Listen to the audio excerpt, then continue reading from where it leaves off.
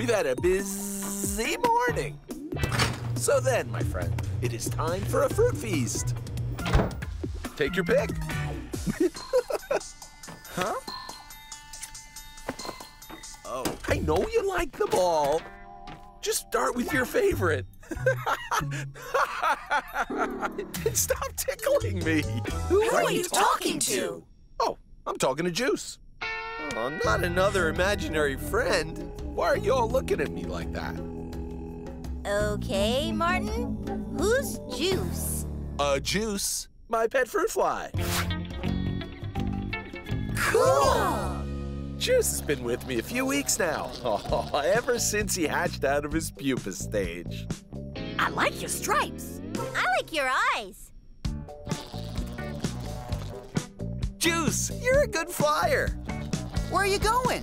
Oh, he eats about 10 times a minute. My guess is he's heading to the mango.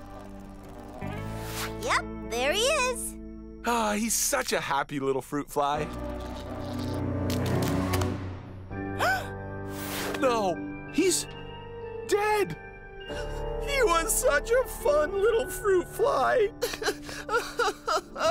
I'm gonna miss you, Juice. Well, at least he had a happy long life. It was actually really short.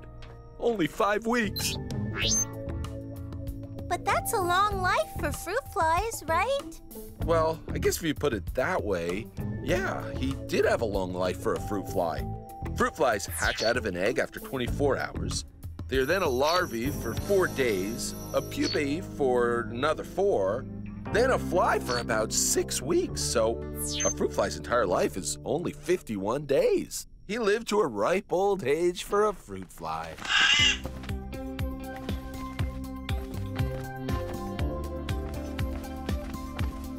Whoa!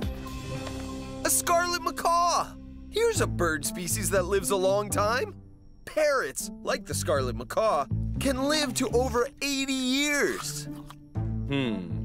In memory of Juice, I'm gonna name you Juice 2. It's good to hear macaws live for a long, long time. At least longer than the original Juice.